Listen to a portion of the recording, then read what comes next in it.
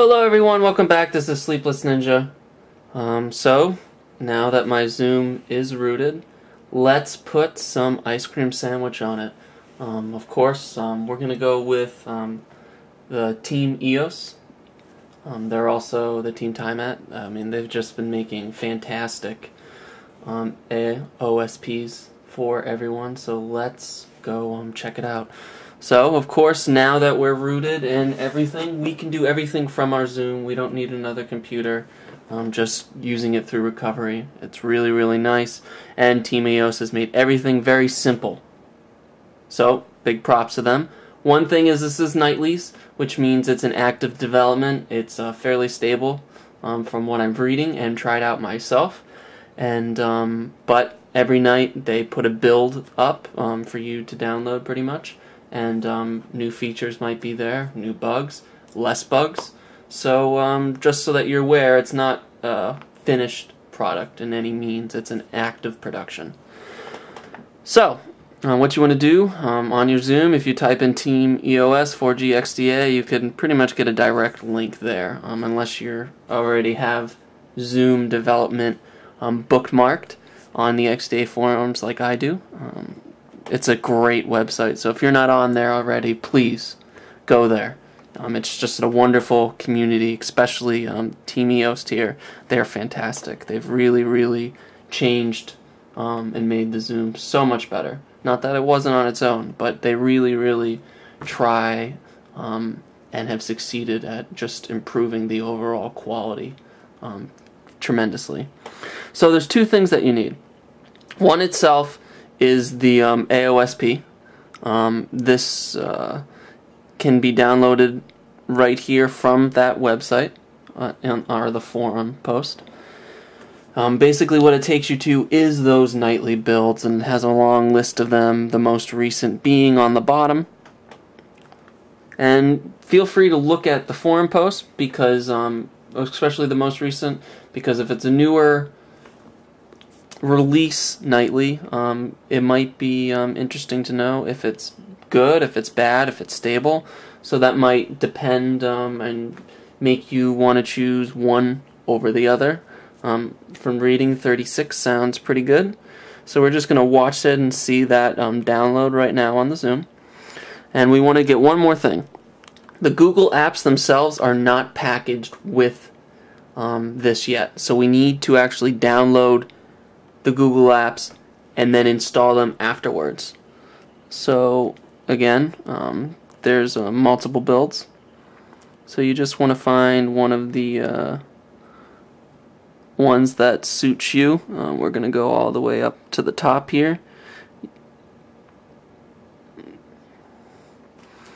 Or, well, you see whether most people have downloaded 4.0.3 version 10.4 right there, so we're going to go with that one.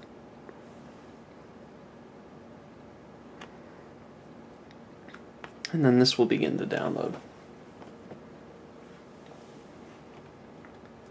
And of course, this is already assuming that you're rooted, so you're going to be able to do all of this, and you have the, the correct recovery, um, Solinar's recovery installed. If you followed my Universal Xoom rooting guide, this is for you. Now, for everyone else, um, just actually let's let's let's go back while this is downloading, um, and let's go to Android development. Like I said, XDA is a wonderful site, and um, they Team EOS is not just working on a 4G version. So I am emphasize: do not use this one if you don't have a 4G Xoom um, 4G emphasis on the Verizon network 4G. But you can see they have many Team EOS European 3G GSM, there's the 4G, there's the Wi Fi, and many other things from many other people. So look at this and uh, you might find something that you didn't know and um, be able to modify the Xoom in your liking, which I think is the best thing about this uh, Xoom um, and really the Android platform is a really great community with high customization. So it's going to take a while.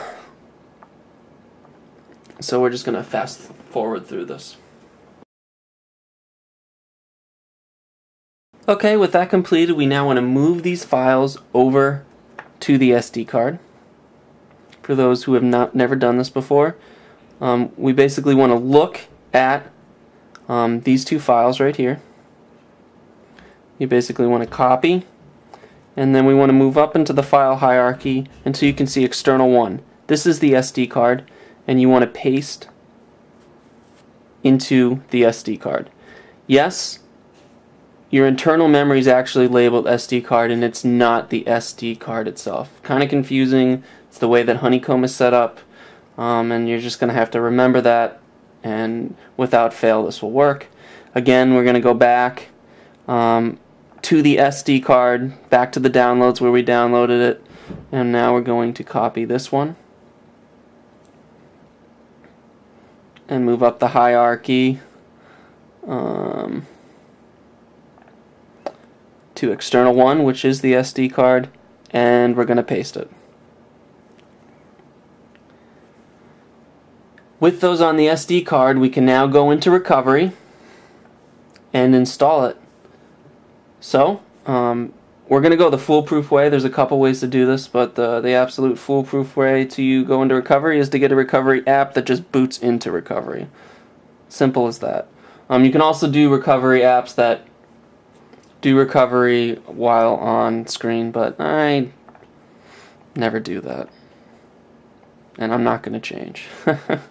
so, um, ROM Manager uh, does a pretty good job at just booting into recovery. Um, that's really the only thing I use it for. Um, compatibility mode, more of that later. And so let's just OK. And now we just want to reboot into recovery. All we're doing is providing an easy way, super user request. You need root, obviously, for this to work.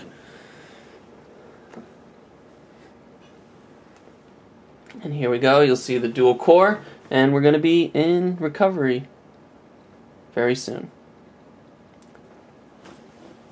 Make sure it's sonars is important, especially for the Xoom. So, now we want to install those files, but it is very important and noted that you should factory reset if you're coming from the honeycomb. If you already have an ice cream sandwich nightly, um, it, it, they don't say that you have to do this, but if you're coming from Honeycomb or another OS, definitely do a factory reset.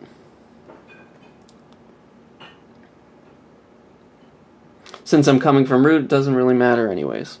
Now, we want to install a zip from the SD card, and then we want to choose the zip from the SD card.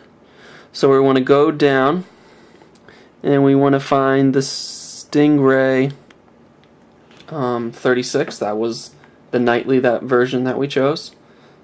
Select it and install it.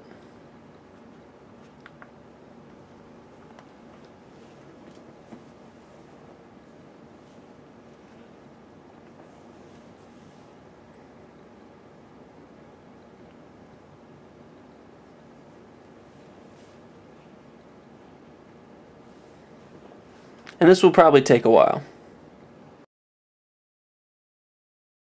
Or not. Okay, and that's the ice cream sandwich. And now let's uh, choose a zip from the SD card and install the Google Apps. Okay, with that, let's reboot and see what the ending result is.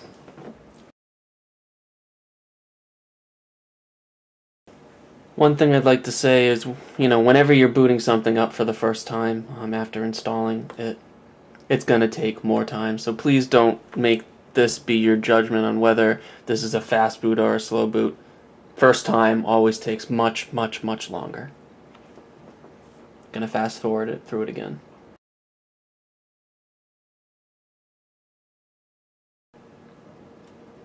Alright, so we can see we're at the home screen. And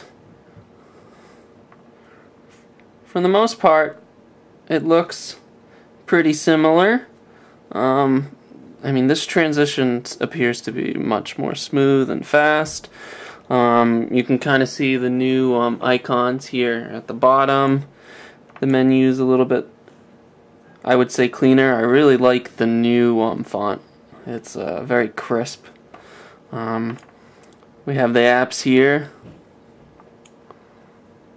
Everything, for the most part, seems very nice, smooth, and buttery. We go into the settings. The settings panel's a little cleaner. I like that. Um, we'll go to the browser. We'll see.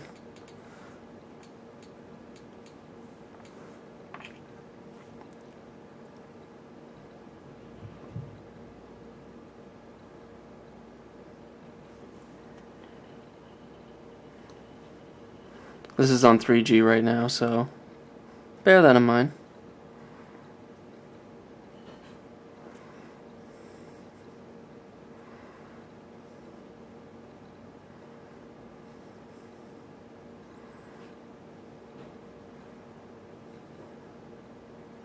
It's handling the JavaScript a little bit better. You know, scrolling through, it's a little bit smoother. It's loading the page a little bit faster. Um, so overall, it, it looks pretty good, but you can see when you're clicking on something, it almost has that highlight highlight mode to it. I don't know if you can see that on the on the screen, but that's kind of cool. Um, so there's a lot of things that I need to explore still, and um, I can talk about them in detail if you have any questions. You know, there's this new um, kind of Google folder pop out and things like that. But um, overall, it looks promising. I'm gonna go have fun and play and um, get right on and install Ice Cream Sandwich if you already haven't beaten me to it. Alright, thank you everyone. Have a great one. Um, big props, of course, always, Team EOS um, and the XDA forums. And um, hey, like me on Facebook if you wish. Or you can follow me on YouTube. And um, ask me any questions, and I'll do my best to get back to you. Um, I know I have not been uh, good recently, um, especially to those posting on YouTube. Be, be but be obstinate also ask on uh, my Facebook uh, wall. That's probably a better way to get me. Um, have a great one. Thank you, everyone.